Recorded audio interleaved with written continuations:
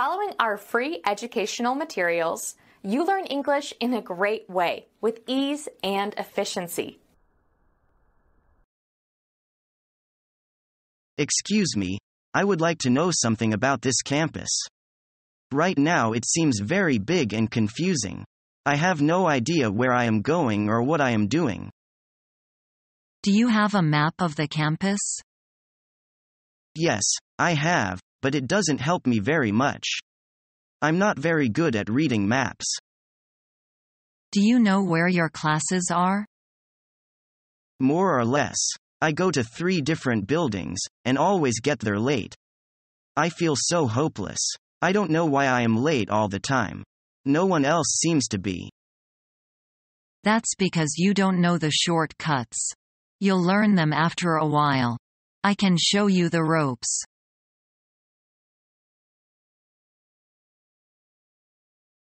Tom, you're my good friend, right? Sure. What's the matter with you? The exam. The terrible exam. I'm not ready yet. Can you tell me how to get good marks? Don't be so nervous. Relax. First, sleep early at night. Second, study two hours a day after school. Third, don't tire yourself out, but don't be lazy. Will that help? Yes, thank you.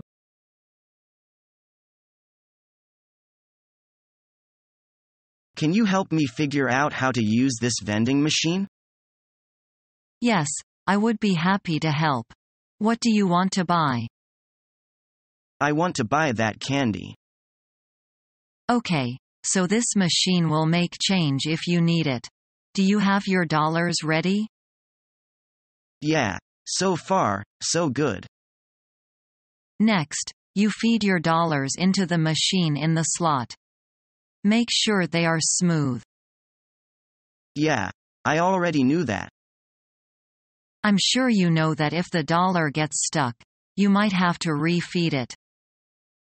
Okay, let's move on. Now you just make your selection and pray. If nothing comes out, try again or call the number on the side of the machine. I hope it works. Well, good luck.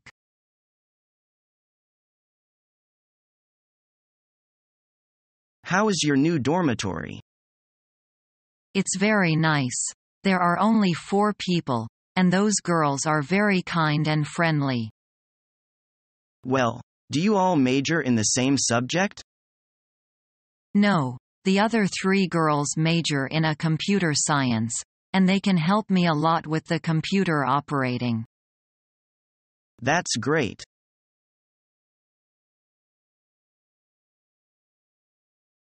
I hear you're taking a music class. I didn't know you're interested in it. Oh, I'm not. I've never had a music class before. In my opinion, you'll make it. You're having me on again. No, I'm serious.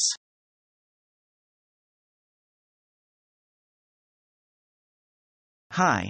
My name is Lean, and I'm from Russia. Nice to meet you, Lean. My name is alike. I'm from Japan. To me English is a difficult language. A second language is always difficult. True, but English is harder than most. It's a crazy language.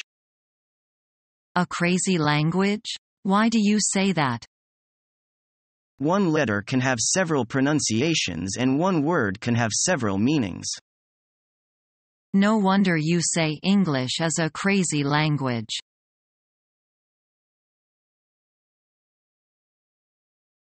Excuse me, can you tell me how to find some books on social science? Sure. You see all these little drawers here and all the way around the walls? Yes. These drawers contain cards describing every book in our library. Together they constitute the library's card catalog. You can see that each drawer runs from one part of the alphabet to another. Fox example. This drawer goes from SCA to SCM. So if I'm looking for a look called a history of Western society, I'd just look under A. No. You'd look under W. The articles is, and, the, don't count in our alphabetization. And cards are generally omitted for extremely common words and phrases such as, history of, introduction to, story of and so forth. What if I don't know the title of the book? Well, you can look under the author's name. Could you give me an example? Suppose you want to find a book by your professor, William Smith. You'd look under Smith and then William.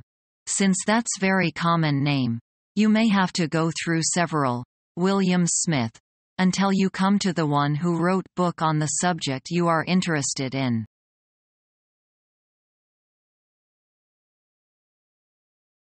How are you? I'm great. Thanks. Did you need something? I need your help. How may I help you? I need to find this newspaper article. Have you checked the periodicals section yet?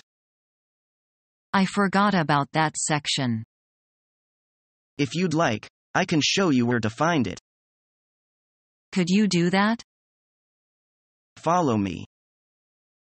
Thank you for all your help.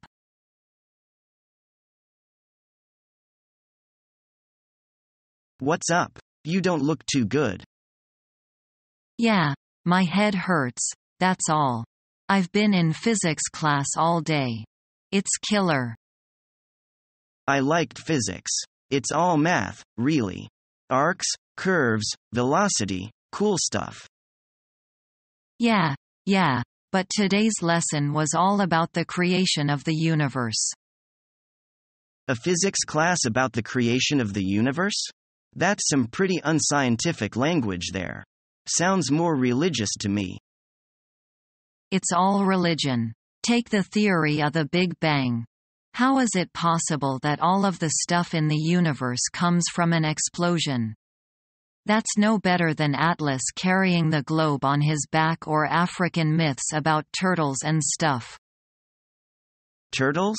Whatever look, all that's required for the creation of matter an imbalance of particles and antiparticles. At least, that's what the math says.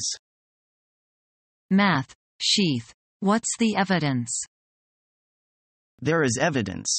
Do you know Edwin Hubble? He's the guy who in the early 20th century was the first scientist to measure the drift of matter in the universe, thus advancing notions of an expanding universe.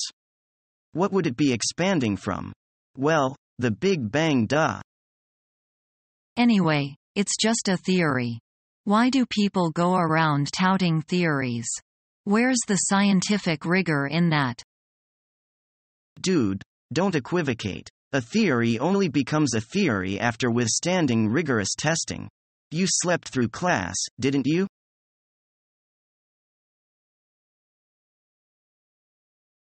Do you mind if I sit here? Of course not.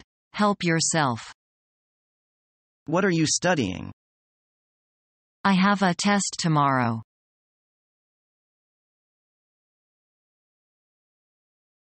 Let me get last week's notes. Yeah, sure. You didn't come to class that day? I couldn't come. Why not? I wasn't feeling well. Here they are. Thanks a lot. Are these all the notes? Oh, no, this is the rest. Thank you very much. It's no problem at all.